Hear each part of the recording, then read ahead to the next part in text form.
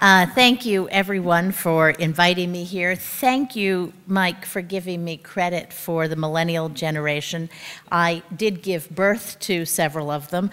Um, and I think Morley and I would like to think that the reinventing government movement may have had something to do with their ideas, but since uh, Chloe was a third grader during reinventing government. I'm not quite sure I can go that far, but if you say so, we're responsible. Um, and uh, thank you, everybody, for having me. I would like to talk a little bit about climate change and domestic American politics. And the reason those two things are put together in the same program is because, as in all major policy initiatives, it is ultimately the politics that determine the resulting shape of the initiative. And so let me start a little bit with the project that Rob Shapiro and I are just getting started on, the Climate Change Task Force. Uh, as you look at the last couple of years, you realize that a pretty amazing thing has happened. That Al Gore, in his um, retirement from politics has managed to have perhaps more impact on the political scene than he did when he was in the government, practically. And he has single handedly managed to put climate change on the policy agenda. And so we see now a steady drumbeat of news about climate change. Television has really gotten onto this story, so they're, they're connecting it to weather events, which is, which is appropriate. They're connecting it to perhaps things that are not appropriate. But basically, this is now a clear major domestic policy agenda item for the next administration. Uh, obviously, chances are if it's a Democrat, it'll be given more attention than if it's a Republican, but I even think in a McCain presidency, we'll see attention to climate change. Now, the interesting thing about this is for the last 20 years, climate change was never taken seriously politically. It just simply wasn't going to happen. In point of fact, uh, because the US Congress kept turning down Kyoto, it was just kind of a non starter. It was something the environmentalists talked about, it was something Al Gore, with, with a stick to itiveness that is, uh, amazes me to this day, kept kept on about. But the bottom line was that climate change was not something that serious public policy experts spent some time looking at. And in the course of this, kind of two different models developed for how to do climate change. One was a cap and trade system, and the other was a carbon tax system. And the interesting thing about this is that the cap and trade system grew out of not of its intrinsic worth as a policy solution, it grew out of a political judgment. And the political judgment was that cap and trade is not a tax, and it would hide the fact that this was really a tax. And therefore, in an anti tax era, we could go ahead and, and call it cap and trade and develop this system, and this would be the solution to climate change. Now, that was a kind, this is reflected, by the way, in paper after paper by economists. What almost all the economists who've looked at this say is, gee, first of all, cap and trade sort of is a tax. Secondly, it's very complex. And thirdly, a carbon tax is simply the more straightforward and maximally efficient way to do this. And then the economists say, but, but it's politically not viable.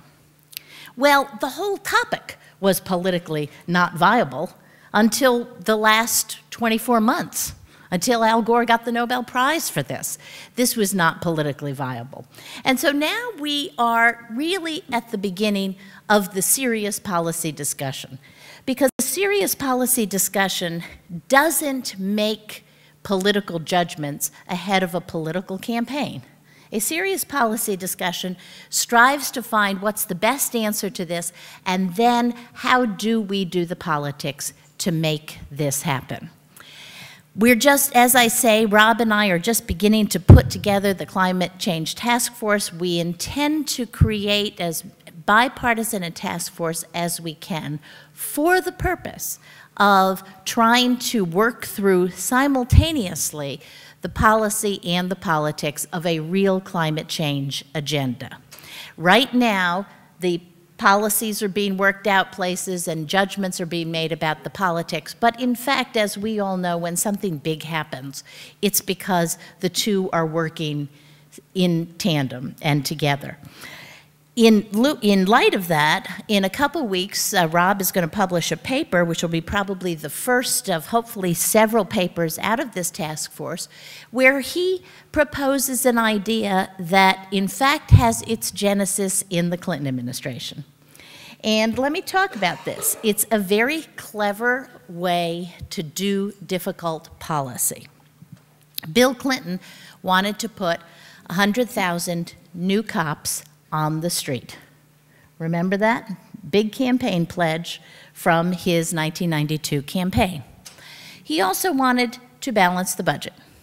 100,000 cops costs a lot of money. Bill Clinton married 100,000 cops on the streets of the America's cities with 100,000 bureaucrats out of the federal government. He took something the people wanted, something the people were not crazy about, put them together, and he had a policy that worked, that got funded, that went through Congress, and a lot of people give it a lot of credit for beginning the crime drop that we saw in the 1990s. Rob has obviously taken a political page out of that thinking, and he, in this paper, will show the feasibility of marrying a carbon tax with a cut in payroll taxes.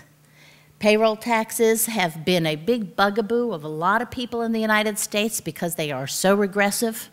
Um, they're capped, obviously, so billionaires don't pay payroll taxes on, you know, 199, millions of their dollars, and um, most ordinary people pay way too much in payroll taxes.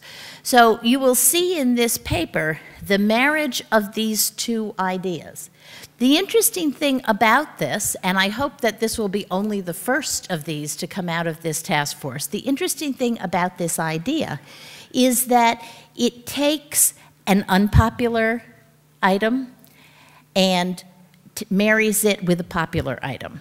And Rob, of course, is, uh, has worked out all the numbers and shows how you could implement this, how it would work, and how you could still keep the government going. So that's the first of what we hope will happen in this climate task force. The important thing to do is to marry it with the reality of American domestic politics. And that's where we stand today. I know that today, most of the time when I'm asked to talk about American politics, I'm asked to talk about the fact that I am a superdelegate.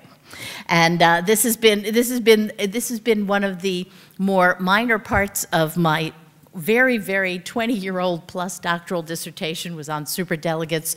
It's certainly not been a big factor in my life, and these days I talk about this every day. It's really been, it's really just kind of gotten kind of ridiculous. But if we look forward, and I want to look forward into a next administration, we can see that there's the overriding domestic policy issue is going to be around climate change and energy. And the reason is that just as in this administration, 9 11 forced the government to break down the walls between domestic policy and foreign policy in the creation of the Department of Homeland Security, in the next administration, we will have to break down the walls between domestic policy and foreign policy because Americans are finally ready. They all understand, the voters on the street will tell you that it is about time that we started to be energy independent, that we're sick and tired of going to war in the Middle East. And so the, the, the, time has come for a real revolution in politics. We hope to make a con contribution to that in the next year by really working both the policy and the politics of climate change issues. But I think in the bigger energy field, and there's people, there are people uh, more, uh, more erudite than I going to follow me and talk about energy. In the whole energy field, America is really ready to listen. And we should go into this debate without any preconceptions about what is politically viable or not, because we are in fact facing a brand new political opportunity here, one that we haven't faced before. So that's where I hope we move. Let me say one final word, which is about a book I've written called The End of Government as We Know It. And in that book, I also project into the future and I predict that the 21st century will be the post bureaucratic century. That in the next century, we will begin to do government differently than we have in the past. And I talk about three models. The third one is particularly relevant to this question of climate change. I talk about reinvented government, which Morley and I worked a lot on in the US federal government um, which is really bringing the best business techniques and the best information technology to government. I talk about government by network, which is where the government decides to implement policy through a series of non-governmental organizations. And I talk about government by market. And government by market is where the government makes a decision to create a market where none existed before usually through a very straightforward mechanism, a tax, basically through what the economists call externalities. Where did this start? Well, let me look at this water bottle. In 1970 in Oregon, they had a problem. The problem was people were throwing their beer cans and their Coke cans and their water bottles out of their cars and littering the highways. The state of Oregon had a couple options for solving the problem. They could have created the Oregon Department of Clean Highways. They could have hired civil servants to pick up the bottles and the cans and had built a building and put the civil servants in and had them show up at 8 and go out at 8.30 every morning and pick up bottles. They could have created a governmental, governmentally funded network.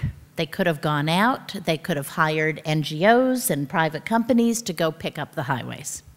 Instead, they adopted what, in retrospect, of course, is the most straightforward and simple policy. They said, we're going to use our government power to require a five cent tax on every bottle that's sold. And then guess what? When you return the bottle, you can get the money back.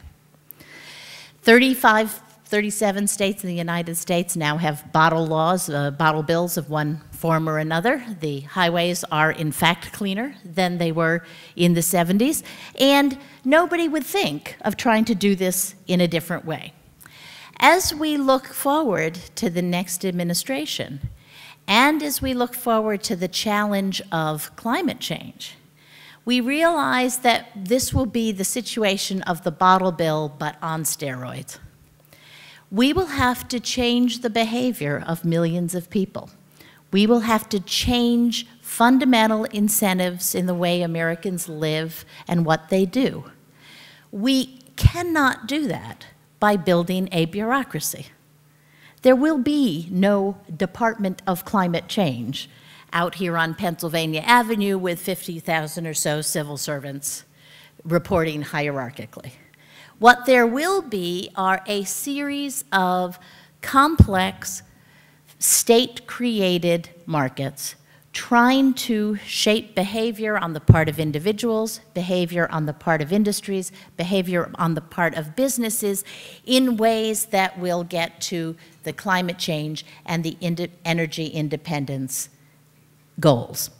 That involves not just new policy, but what we haven't really focused on is that the climate change challenge involves new methods of implement, implementing policy. The 20th century bureaucracy will simply not work for this challenge as it has not worked for many other challenges that we're going to face. Uh, that's why uh, I wanted to talk to you a little bit about climate change and American domestic politics. Um, I do not know who's going to win the presidential nomination on the Democratic side. Um, I don't know who's going to win the election. I do know that though whoever is president is going to face an unprecedented challenge when it comes to this issue because it crosses so many boundaries and requires so much creativity.